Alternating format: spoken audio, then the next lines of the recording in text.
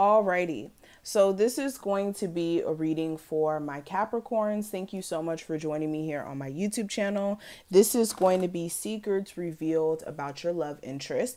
And we're going to ask the universe things that you really need to know in regards to this person who you're really dealing with and things of that nature. So we're just going to pick up on things. If you're interested in hearing what I have to say, stick around. Also, if you are new here, welcome. My name is Kristal. This is Mystikal Kristal Tarot. I do tarot readings here and we get into some things. So if you are interested in seeing my future readings, for one, you have to hit the subscribe button so that you can get notified when I post, um, as well as like the video. When you guys like the video, it lets the algorithm also know to notify you when I post videos as well. Okay. We're going to get straight into it. Um, if you do want more of a personal reading, because this is general as well, um, I do offer readings. My information will be below. And you can also get 20% off your first reading with me by joining our emailing list or by taking our zodiac quiz for zodiac sign of uh, Capricorns. I almost said Cancer, but we're talking about Capricorns, okay? That information will be listed below. Alrighty, so Capricorns. What is some secrets that my Capricorns need revealed in regards to the person they have romantic or love interest for? For June 2020, let's see.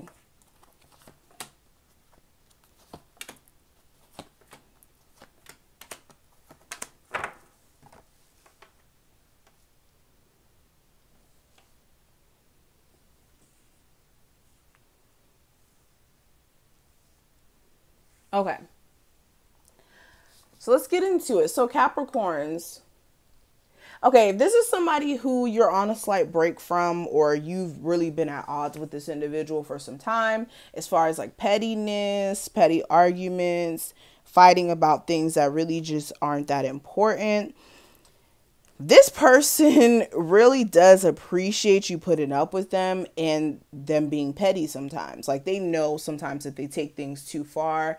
They're very aware of that. Um, and they really appreciate you still standing by them even when they are pretty much hard to deal with in a sense, okay? Some of you this person does get in like, you know, moments of having a short temper. And for a lot of you guys surprisingly you guys are able to um, combat that or not let that affect you and how you deal with this individual as well. Okay? Um, i do feel like also for some of you if you are somebody who has helped them help them financially in any sort of way and this could be somebody who's like a recent ex. Um or somebody who you may even have children with. This person also appreciates you also being their backbone when financially they didn't have it. Like this person may have been struggling at the time. You help them. It, doesn't have to be like astronomical amounts of money. You may have just helped them out with like $20 or something like that, where they may have really needed it at the moment more than you may understand. And they appreciate the fact that you may have a gentle heart when it comes to being somebody who's just caring and always there to listen and give sound advice. Not advice based off of just what emotionally will make this person feel better, but sound advice. Okay. This person also feels as if in a love sense, um, they've had it hard. So this person likes to really deal with people who wear their heart on their sleeve, where they can kind of get where you're coming from, or they can kind of sense where your feelings lie for them, versus somebody who, you know, isn't that communicative. Is that a word? Yeah. Communicative in regards to their feelings. So they appreciate it when you guys wear your heart on your sleeve. Some of you, they would like you to wear your heart more on your sleeve because they may feel like sometimes they don't really know where they stand with you emotionally. Um, I also feel like now, if this is again somebody who you're not talking to right now, this person, I do feel as if they are a little defensive towards the breakup. I don't think that they really want the breakup or for you guys to not be communicating anymore. They may be acting very just like, oh, I don't care, and just in their ego, especially this is a male that we're talking about, definitely in their ego right now.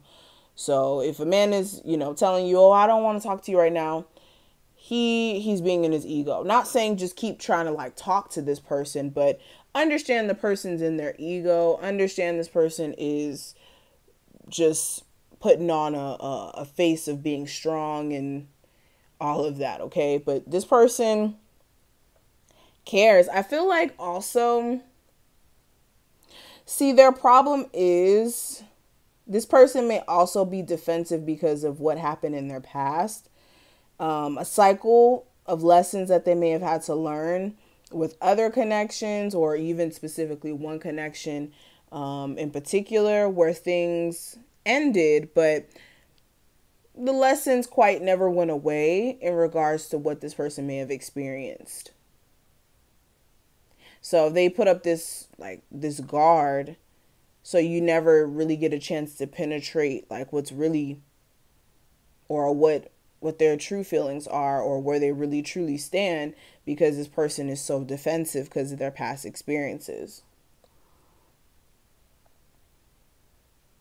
If you guys had your own fair of experiences with each other as well, this person may also be defensive because of that even though they care about you, it's just like, yeah, we've gone through some stuff. and I think it has really impacted this person as well.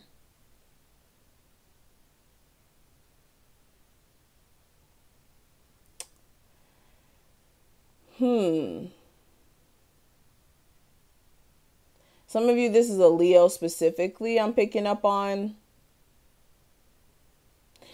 See, this person tries to put on this front like, oh, I, I know my worth and I know what I will put up with and what I won't. But sometimes this person kind of wavers in regards to like their own personal feelings and how they they want to kind of display their love for other people. So I do feel like this person is literally struggling with like some ego stuff or just getting a grip on exactly what they're looking for romantically. Um, I also get this energy as well. See, the problem here is this person has destructive behaviors at time and for a lot of you, like the warning here with this individual was that this person has some learning to do with these destructive actions that they may take. They may do things they don't really think about, like the outcome in regards to how that's going to affect the relationship, how it's going to affect them. Um, and this person does struggle with doing certain things that are out of alignment with being in relationships. I also feel like this person is very paranoid. Some of you, this person is very paranoid because they may have missed certain signs in the past where the person may have been cheating on them or the person may have been just um, keeping their true feelings to themselves. And when they should have picked up on it and you know, later on down the line, it was just too late and things unfolded the way that it did this is this person realizing, oh shoot, I really do need to make sure I'm using my intuition more and that I'm on my P's and Q's. And that now puts them in this like very paranoid energy sometimes because they never really know. Like I said, they feel like they don't really know where you stand emotionally sometimes. They feel like they don't know where people stand emotionally just in general in their love life. So they have to kind of go into the space of just all right, well, my intuition is telling me this, so I believe it. Right now, this person is going to going through a space of introspection to figure out how they're going to take action to make this connection seem worthwhile for them overall. Now, if you do still have this person in your life, I do see that this person does appreciate you. This person wants to close that cycle of you guys having defensiveness towards each other or very just like brutal arguments where, you know, one person or both of you guys kind of cut deep. Um, they're really scared to go date other people because they feel like that's just going to automatically be a disaster. And they would really like to focus in on this connection and making it more worthwhile. Okay. And that's for my people who are still talking to this person. But this is what I'm seeing, Capricorns. Thank you so much for watching this. I hope that you enjoyed. If you did, please make sure you thumbs up this video and subscribe if you haven't so you don't miss any of my readings in the future. Or if you don't like this video, you're literally not going to get notified. So make sure you smash the like button. Again, if you want a personal reading, check out my information below so you can get 20% off your first reading with me by joining our emailing list or taking the zodiac quiz for Capricorns and I will see you in the next one.